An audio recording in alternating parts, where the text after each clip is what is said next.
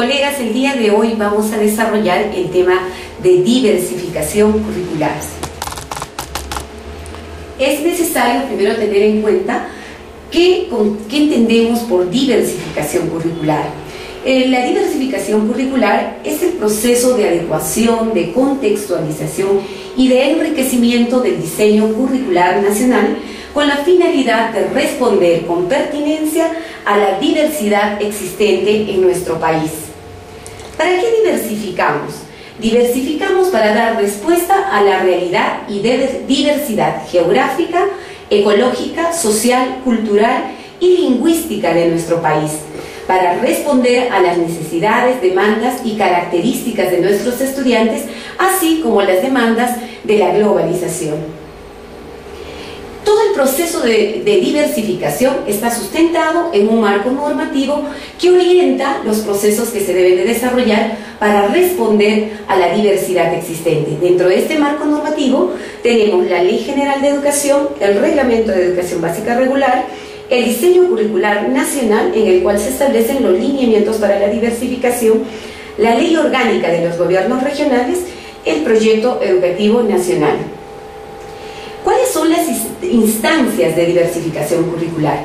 Como bien establece el diseño curricular nacional, eh, los procesos de diversificación se realizan a nivel regional, a nivel local y a nivel de la institución educativa.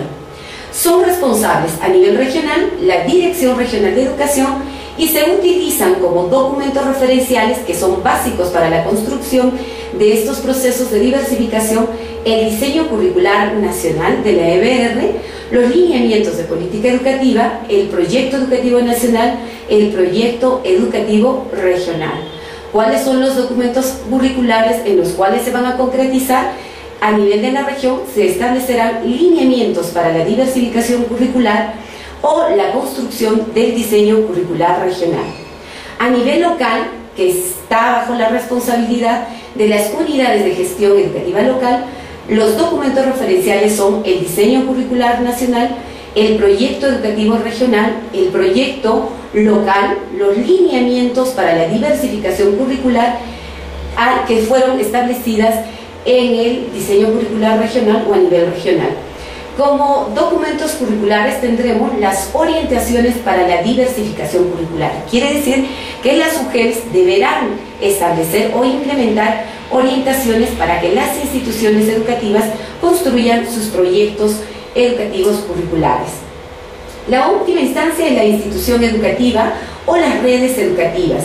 Están bajo la responsabilidad del coordinador de la red en el caso de que estemos hablando de las redes que agrupan a instituciones educativas con características similares, que en este caso pueden ser instituciones educativas unitarias o multigrados.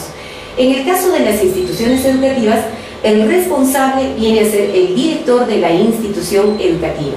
Los documentos que se utilizan como referencia son el diseño curricular nacional, los lineamientos para la diversificación a nivel regional, las orientaciones para la diversificación curricular que fueron dadas desde la UGEL y el proyecto educativo institucional o el proyecto educativo de las redes educativas.